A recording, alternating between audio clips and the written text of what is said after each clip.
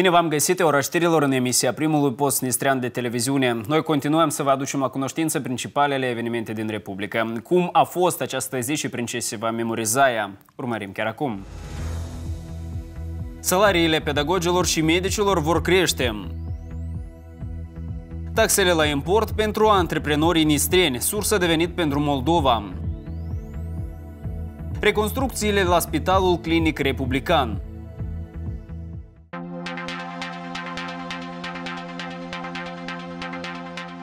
În februarie, Sovietul Suprem intenționează să examineze întrebarea creșterii salariilor în domeniul educației. În martie, învățătorii vor primi salariile pentru februarie conform noilor calcule, iar de la 1 aprilie, medicii vor primi mai mult. În medicină va fi lansat un nou mecanism, proiect pilot care a fost deja testat în Spitalul Clinic Republican. Rezultatul este în cifre. Anterior, medicii primeau în medie aproape 5.500 de ruble, acum mai bine de 8.000. Surorile medicale primeau 3.000 și jumătate pe lună, acum aproape 5.000 și jumătate. Infirmierele aveau salariul de 2600, acum 4. Același sistem doresc să-l aplice în toate spitalele, policlinicile, clinicile ambulatoriile, maternitățile și stațiile de ambulanță. Recent problema a fost discutată cu prezidentul. Există anumite momente, ca în orice lucru nou, e imposibil fără aceasta, dar medicii șefi și ministrul lucrurilor sănătății acum lucrează asupra momentelor dificile. Și sunt încrezuți că până la 1 aprilie proiectul pilot, care a fost introdus până ce doar într-o instituție medicală, va fi implementat în celelalte instituții medicale ale noastre, ceea ce va crește semnificativ salariile medicilor. În ajun, prezidentul a semnat legea despre creșterea pensiilor și indemnizațiilor de la 1 februarie. Toate cifrele, desigur, ar fi putut fi mai mari, dar din cauza noului val de presiune din partea Moldovei asupra economiei noastre, au fost nevoiți să facă unele corectări.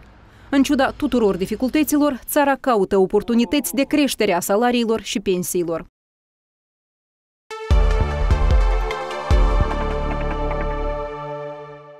Bilanțuri ale anului trecut și planuri pentru cel curent. Astăzi a avut loc Colegiul Procuraturii.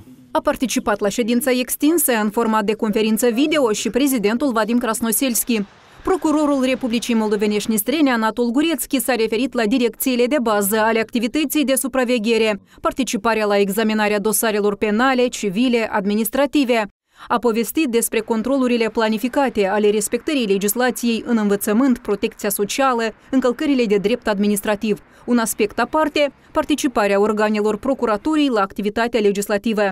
În ce privește bilanțurile lui 2023, prezidentul a apreciat activitatea procuraturii drept satisfăcătoare. Vadim Krasnoselski a subliniat că procuratura sunt oamenii, activitatea zilnică a cărora e orientată spre protejarea cetățenilor și statului, armonizarea relațiilor lor pentru a le face viața mai bună. Pentru ca procuratura să fie protector pentru cetățeni și stat, participarea dumneavoastră să armonizeze relațiile între ei, să creeze toate premisele pentru ca absolut toți să trăiască respectând legile Republicii Moldovenești Nistrene.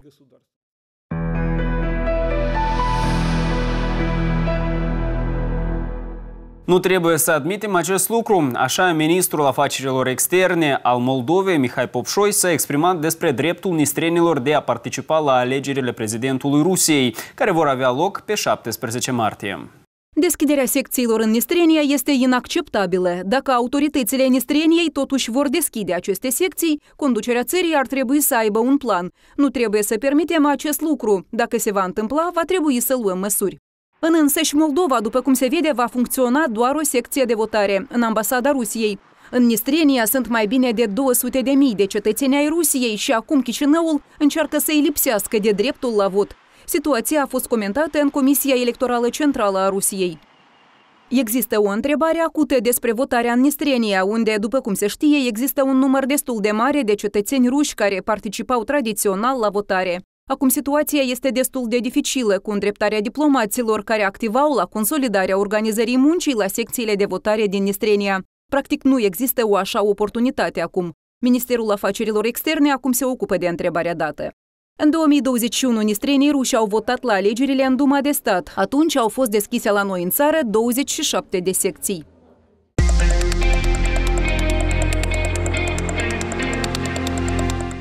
Noile taxe la import pentru antreprenorii nistreni, sursă de venit pentru Moldova. Între timp, în Nistrenia calculează pierderile, iar unii, în general, se gândesc să-și închidă afacerea. Bender, Casa de Comerț Victoria. Andrei Melnic comercializează tehnică sanitară, utilaj electric, mașini de găurit și nu numai. Marfa o aduce de după hotare. Ultima dată a achiziționat-o în anul trecut, până la taxele Moldovei. Cum va lucra acum, nu știe например, на группы товаров там. Spre exemplu, la un grup de marfă, pompe, instrument electric și care lucrează cu benzină, taxa din partea Moldovei este de la 5 la 10%. Până acum au fost deja întreprinse unele măsuri de restricție față de noi. Mașinilor nistrene li se interzicea să treacă în Ucraina, adică pentru a aduce marfă foloseam serviciile de transport, ce ducea la cheltuieli suplimentare. Plus la aceasta, a aduce marfa în Moldova fără brevet moldovenesc era imposibil. Statul vecin nu recunoștea și anterior documentele nistrene. La utilajul de gaz, benzină, Moldova cere licență, iar ea este foarte costisitoare pentru un antreprenor mic. Adică aceste mărfuri în general vor dispărea din vânzare dacă e să lucrăm după legile Moldovei. Moldova a introdus taxe la import la 1 ianuarie curent. Prețurile la marfă cresc, întreprinderile suferă cheltuieli. Zeci de milioane de dolari au trecut în bugetul Moldovei. Причем, заметьте, что... Și dacă observați, Moldova nu are niciun fel de obligațiuni sociale. Ea se folosește de impozite, dar încoace nimic nu trimite. Adică pensiile, indemnizațiile invalizilor, copiilor, alimentarea în școlile specializate, internate, toate acestea se fac din contul impozitului pe care noi îl achităm aici, în Nistrenia. Moldova nu ne oferă nimic. Nu au fost elaborate mecanismele, este pur și simplu un jaf. Calea Moldovei este o agresiune economică, spun antreprenorii, și din această cauză suferă oamenii obișnuiți.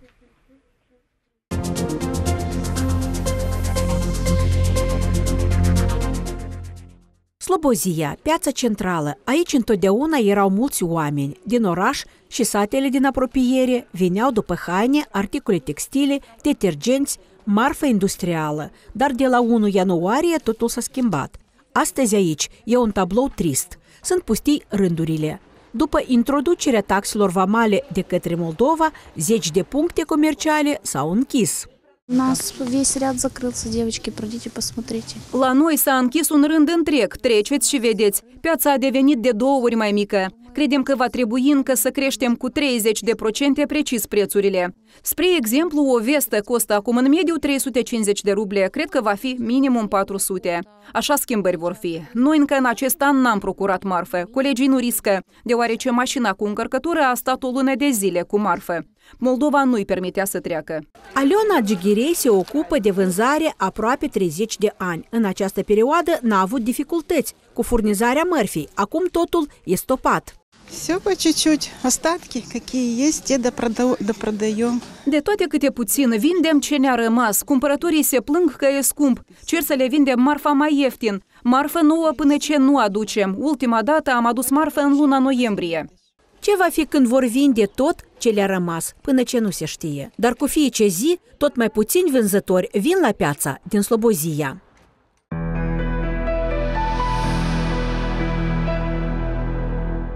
Reconstrucția continuă conform planului. E vorba despre Spitalul Clinic Republican. Reparațiile capitale au început aici în 2019. Secția de internare a fost reparată. A fost deschisă o nouă secție de intervenție chirurgicală. Scoarurile au fost aduse în ordine. Continuă și reconstrucția orășelului medical.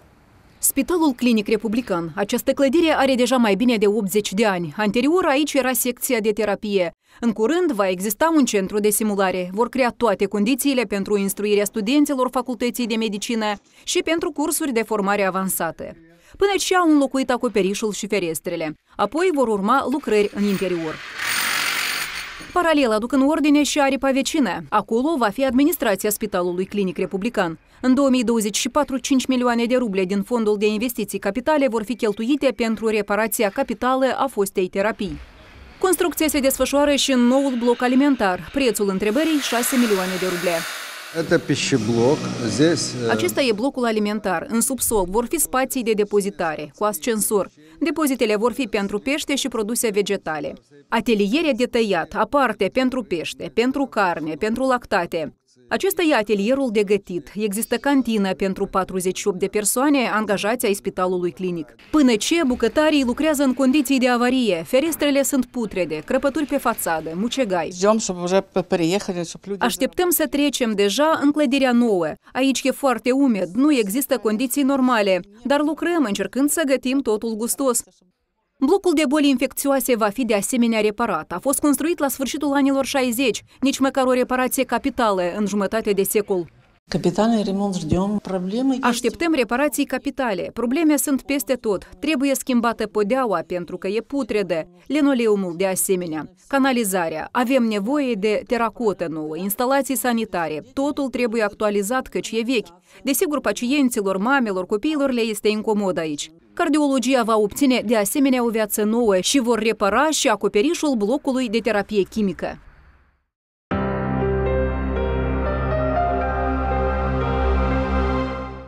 Ce riscă cei care comercializează droguri? Despre aceasta și nu numai, colaboratorii Ministerului Afacerilor Interne povestesc în instituții superioare și de cultură generală. A organiza așa lecții este sarcina trasată de către prezident. Scopul e de a preîntâmpina cum un așa business nelegitim poate distruge viața. Нам попадаются лица от 16 La noi nimeresc persoane în vârstă de la 16 până la 26 de ani, din familii normale, copii normali. Ei au răspuns la mesajul din rețelele de socializare că vor să câștige în calitate de curieri. Pentru acest lucru poartă o responsabilitate de la 10 până la 20 de ani, privațiune de libertate. În 2023, în închisoare au nimerit 26 de curieri de droguri. Din ei mai bine de jumătate sunt nistreni, ceilalți au venit din alte state. К категории таких наркотиков относятся соль, метаамфетамин, амфетамин, спайс. Это наркотики, которые дают стопроцентную привыкаемость. С первого раза, с первой первого- дозы. с первой дозы. chimice la prima doză, drogurile chimice îndată dau de știre. Chiar peste o săptămână se văd urmările. Omul se transformă într-o persoană inconștientă, degradează, sunt afectate toate organele vitale. Începe a se usca. Acest proces se observă îndată, deoarece pierde în greutate. Milițienii povestesc despre consecințele și condițiile reale de distribuire. Lecțiile în școli și universități vor continua. Thank you. Что происходит с шариком? Оп, шарик раздувается. Tiraspol, școala numărul 5, lecție de fizică în clasa 7. Sergiu Ivanovici le predă fizica copiilor pe parcursul a 50 de ani. Lucrări de control, teme pentru acasă, cu discipolii săi este pe o undă. Я с nimi хорошо общаюсь. Eu comunic cu ei. Lecția la noi decurge cu glume și întrebări, iar principalul prin exemplu demonstrativ. Eu m-am născut în luna martie, iar în horoscop se spune că oamenii din această lună au capacități pedagogice. Îmi plac ochii curioși, dornici de noi cunoștințe. Îmi place să învăț.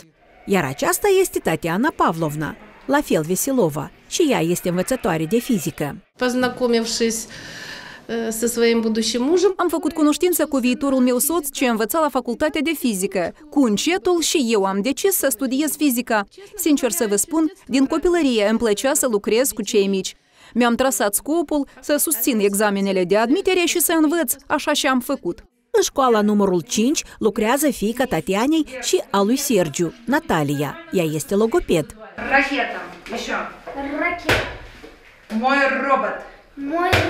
закончила школу. Când am absolvit școala, mi-am pus întrebarea unde să-mi continu studiile. Mama m-a sfătuit să fiu pedagog de clase primare. Apoi am încercat profesia de logoped. Îmi place mult și toți împreună lucrăm.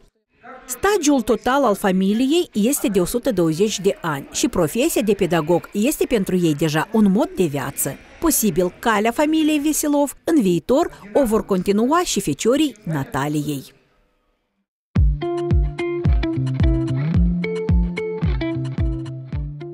Victorii sportive. Recent, discipolii școlii la tenisul de masă din Dubăsare au participat la turneul internațional din Turcia. Sportivii nistrieni au cucerit două medalii de aur și una de argint. Competițiile internaționale printre juniori din Turcia au deschis anul sportiv pentru discipolii școlii rezervei olimpice la tenisul de masă din Dubăsari. Desigur, au participat cei mai bine pregătiți și, drept rezultat, au fost obținute rezultate înalte. Două medalii de aur și una de argint. Rezultatele care au arătat sportivii școlii de tenis de masă foarte bune, care au participat la turneul la Turcia. Andrei Mișișin a luat locul întâi la Under 13, locul întâi a luat și Sergei Traci, Under 15 și Maria Mocrusu a fost decorat cu medalie de argint. Sportivii au jucat foarte bine și au arătat foarte bună joacă și noi sperăm că, că mai bine să joci. Rezultatul a fost așteptat? Da, desigur că așteptat că a fost rezultat, că sportivii au fost pregătiți. Andrei Mișcișin are doar 12 ani. Cu tenisul se ocupă deja 6. Pentru tânărul sportiv, competiții de asemenea rang nu sunt primele. Au fost și cele din Ungaria, unde băiatul la fel a ocupat locul întâi în categoria sa. Moja categoria была Categoria mea a fost până la 13 ani. Principalii rivali în competițiile date au fost sportivii din Turcia. Biruința a fost obținută destul de greu, dar pe semne eu am fost puțin mai bine pregătit. La moment, tinerii sportivi se pregătesc către următorul turneu printre juniori, ce va avea loc în România la 24 februarie. Cam atât pentru astăzi. Vă doresc cele bune în continuare și doar noutăți plăcute. La revedere!